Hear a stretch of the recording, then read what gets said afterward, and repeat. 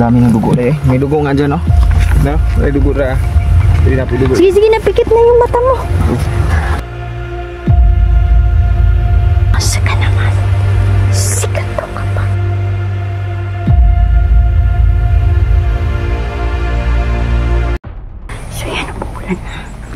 Mga idol, iniwan ko muna si Bilbot kung saan napaka ah, yun po ay sikretong lugar at tinuro po yun ng mga dibata mga idol. Kasi kapag kasama natin siya peligro siya kasi nakikita siya ng mga kalaban. So nahin muna natin na magamot si Niljan dahil patindi ng patindi ang kulam mga idol. At alam naman natin no kapag mamatay sa kulam ay mahirap na itong buhayin planado talaga ni Tisoy itong lahat. Kasi gusto niya na matudas niya una si Niljan dahil may plano sila, may plano siya sa atin. Pero hindi siya magtatagumpay. Sisiguraduhin ko yan.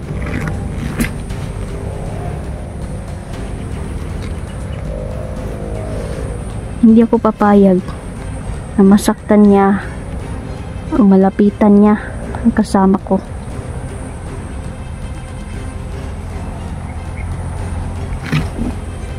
Bye.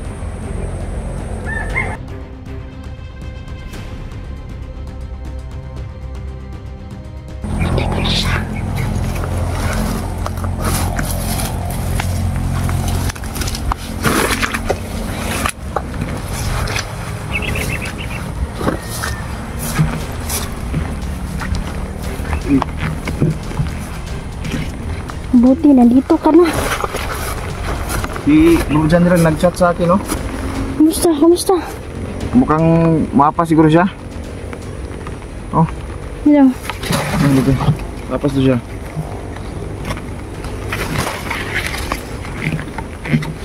sige sige kumusta Ah, medyo maskip pa rin yung kwento. Saan ko? At tablan talaga ako ng kulam ni Tisoy. Kasi nakipagsundo siya sa mga itim na duwende para mas mapadali ang pagpatay niya sa pamamagitan ng pagkulam. Hindi na tao ang kumukulam sa iyo ngayon, kundi ang mga itim na duwende. Grabe sakit oh. Suka ganun yung dugo ah.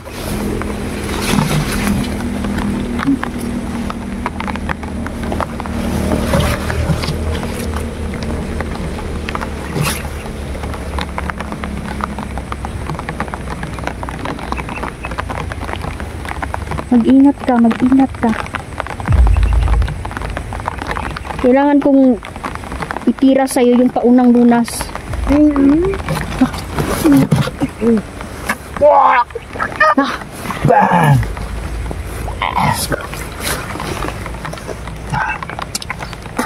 Dami ng dugo eh. May dugo nga dyan oh. No? May dugo na. Hindi na po dugo. Sige, sige, napikit na yung mata mo. Saglit lang, saglit lang. Kailangan ko. Prested ko ani diri eh. Ikot mo yung mga mata mo. Tatawagin ko muna ang kaibigan si Erika.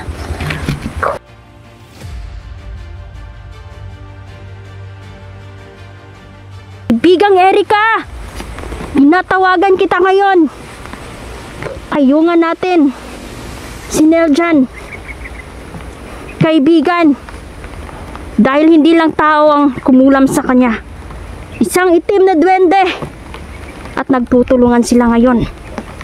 Ah.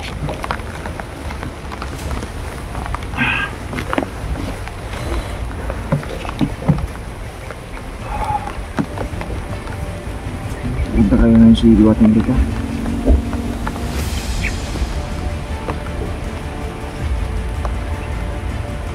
Nararamdaman ko na ang presensya niya na nandito siya.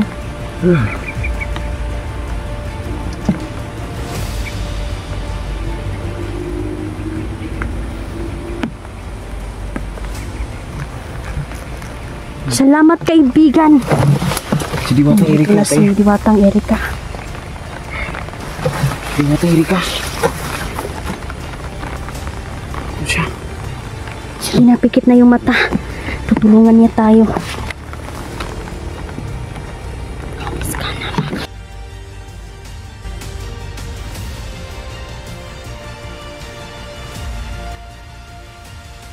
Tama ko sa pag...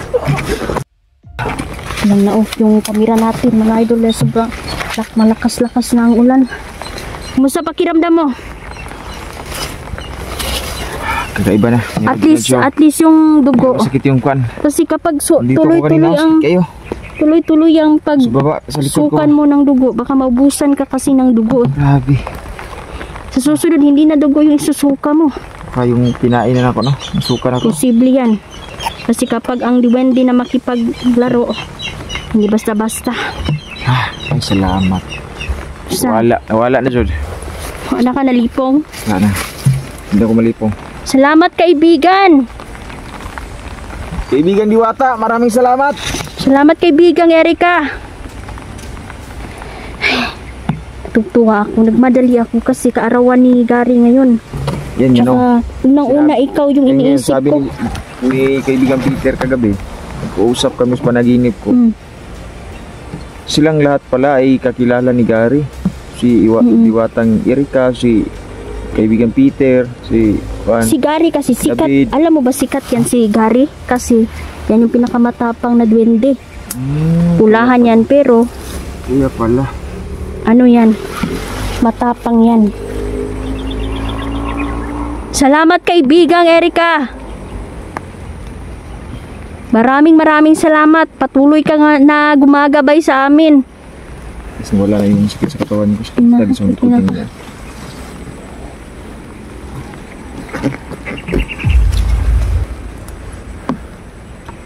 Opo kaibigan.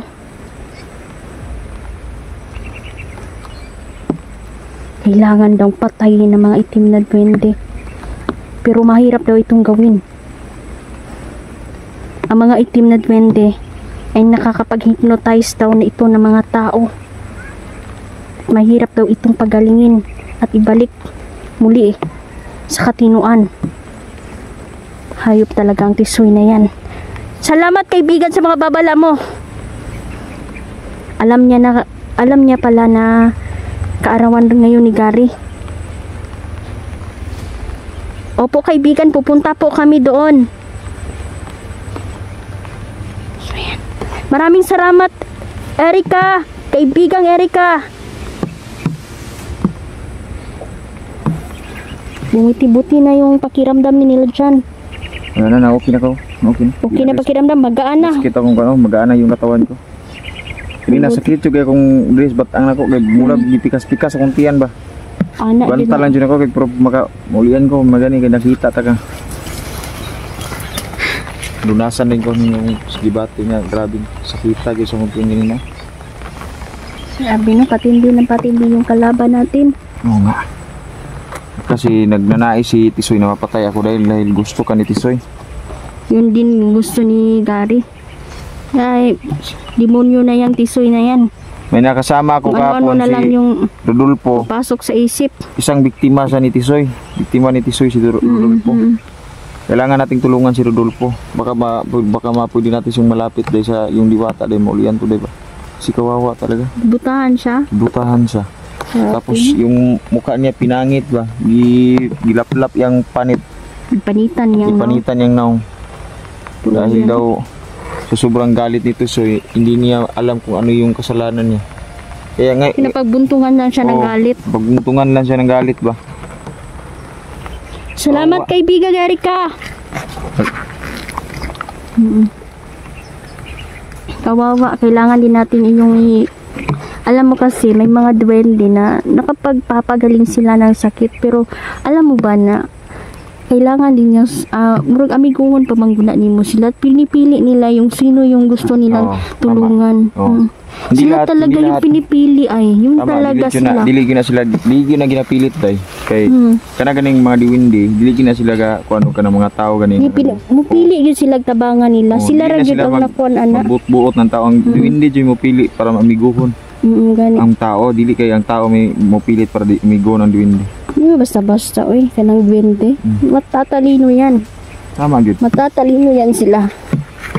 Kasi kapag nalapitan ka nila tapos iba yung hangarin, masama yung hangarin mo, na magampo na lang jud ka kat baka maunahan ka pa ng duwende kaya kaya nga tayo ay sobrang blessed tayo kasi Sila- kaibigan tayong diwindi. oo, lumalapit sila sa atin. Alam nyo kasi mga ka-idol, no, marami nagsasabi na sabi nila kung totoo pa daw yung kwan, diwindi, hindi, mayaman na daw kami. Hindi naman kami naghahangad ng kayamanan Hindi, mga ka-idol. hindi. no. Pwede, la, kung pwede daw, manghingi daw kami ng Dili jud na sa pwede. loto. Bawal, Mm. bawal mga, mga idol, no? Hindi na pwede, pwede na siya pwede guys. Kaya nga yung gusto, ginusto tayo ng duwende kasi oo nga, marami silang ginto.